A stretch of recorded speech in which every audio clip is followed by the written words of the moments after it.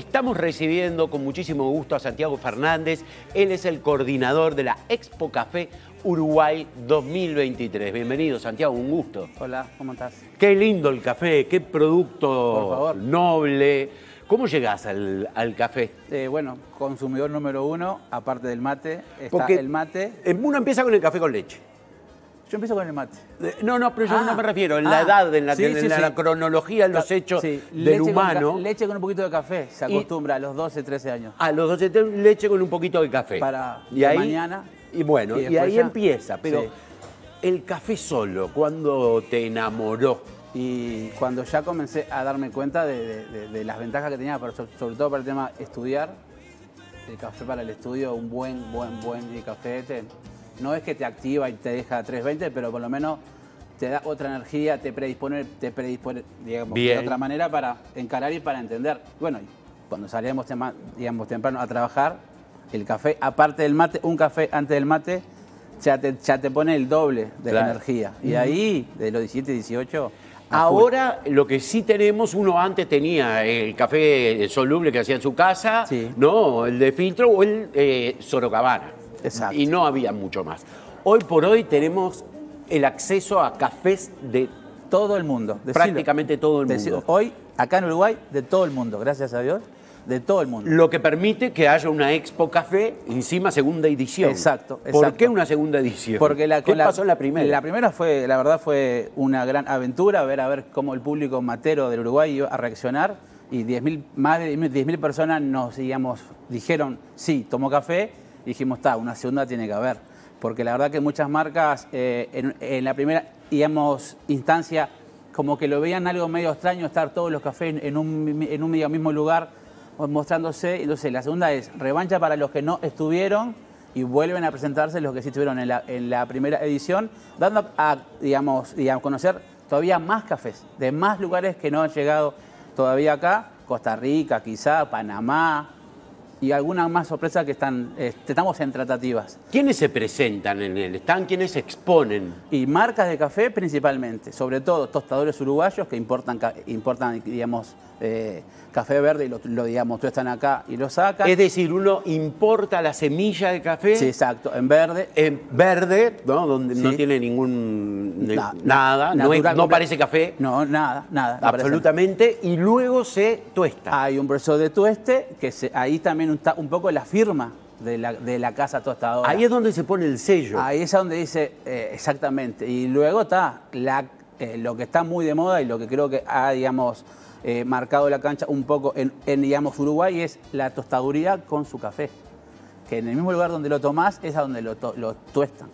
Era Entonces- aquella frase famosa, ¿no? Del café torrado. No, el café torrado es otra cosa. Eh, ¿qué era? El café torrado viene por el lado del café glaciado, donde en el proceso se le ponía azúcar. Ah, mira. donde ya para hay todo un tema de costos, sobre todo cuando eh, digamos, algunos granos venían muy defectuosos y no era de una alta calidad, se, se le ponía azúcar para tostarlos y ahí que sale el café torrado, el café glaciado, Glaseado, mirá. que tiene un componente de azúcar, que a veces el consumo en exceso de ese café es el que uno dice me da acidez.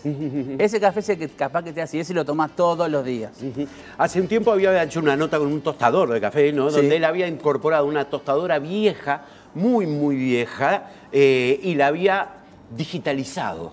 O sea, el proceso era el proceso químico que Exacto. tiene que suceder en los granos, que nos contarás Sí. ahora, pero tenía la tostadora conectada con una puerta USB a una inteligencia artificial que le decía cómo iba la humedad adentro. Exactamente. Y se sentía además el crepitar de los, El del grano, el, crack, el crack, claro. Y ahí vos tenés que es estar divino. atento. Eso, algún... ¿Qué es lo que pasa allí?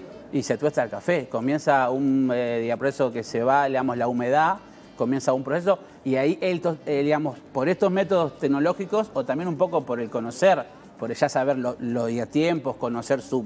Porque su- ahí el oído era es, Sí, es un sentido y fundamental. La prueba constante, sacar y, y ver cómo viene, ver, ver cómo viene. ver- porque también depende si vos querés un tipo, no sé, muy tostado, poco tostado, medio, que es lo que uno a veces ve en los paquetes que vienen del, digamos, exterior, el tipo de tueste. Entonces vos ahí ves oscuro, medio, claro. Entonces el tostador es que le da la firma lo saca como a él le gusta que salga, o como el público también se lo ha dicho, ¿no? ¿Y qué sabor, más allá de, del origen de la semilla del café, qué sabor le da el hecho de que sea tostado majo, medio? Depende mucho, del eh, origen. ¿Le da un sabor más ahumado, más quemado, más no? depende mucho del origen. Lo que tiene, hay un montón de, de variedades de café. Y cada café, sea del el país que sea, de la altura que sea, del tipo de café, con el tostado, es una combinación casi eh, muy grande para hacer como un cálculo. Hay una rueda de sabores muy conocida de las K que te muestra todas las posibilidades de los sabores que uno puede encontrar en un café, desde, no sé, limón, naranja, eh, pomelo, flores, eh, no sé, cualquier, no sé, las flores silvestres que crecen cerca de donde se crece el café, se puede trasladar a el grano, que después cuando se tuesta, depende del tueste, sale más o menos ese, ese sabor. Qué increíble que las dos principales bebidas de consumo de los uruguayos no se producen acá. Totalmente. no, ni la hierba, ni el café. Y pensar que el café es la bebida, es la segunda bebida más tomada en el mundo, después del agua. Entonces ahí te da, como otra pauta. Y acá nos metimos en un tema candente. yo te Expo café y agua salada. Eh, ¿Cómo van a resolver este tema que me imagino debe ser, no imagino no, es el problema que tienen muchos bares, cafés, más allá de que si lo hacen gourmet, no gourmet. Sí, sí, sí. Eh, es un problema que estamos todos enfrentando. Totalmente. Eh, ¿Cómo van a trabajar, obviamente, este problema que le cae del cielo? Totalmente. En estos días, eh, con, todo el tema del agua, varias de las marcas que van a exponer, sobre todo alguna marca que, viene de afuera del país a exponer, nos ha dicho, che, ¿tenemos el agua asegurada? Sí, tienen el agua asegurada.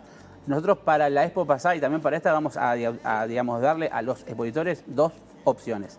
Bidones de agua embotellada, para los que quieren llevarse el bidón para su stand, para recargar la máquina, y también algunos cafés requieren agua filtrada en este caso, el agua filtrada va a ser a través de una empresa que es sponsor de la Expo, que nos garantizó que nos va a poner una máquina similar a la que estamos ahora, tanto se dice, osmosis inversa, no sé qué. Vamos a tener una máquina puntualmente de eso que va a filtrar y purificar el agua. En el caso que para el 12, 13 de agosto esté todavía el problema. Ojalá que no, sobre todo no por nosotros, sino por todos. Y ese filtro no es un filtro eh, como el que uno de repente tiene en la casa, que todavía no nos filtra totalmente, pero sí este, este deja el agua en perfectas condiciones. Totalmente. Eh, Santiago, para cerrar, ¿cuándo y dónde se va a realizar? ¿De qué manera se puede participar? 12 y 13 de agosto en el LATU, de 11 a 21, en, en la web expocafé.uy. Ahí todavía quedan algunas entradas anticipadas que sacamos como una entrada previa para, esos fanáticos que ya compraron hasta sábado y domingo.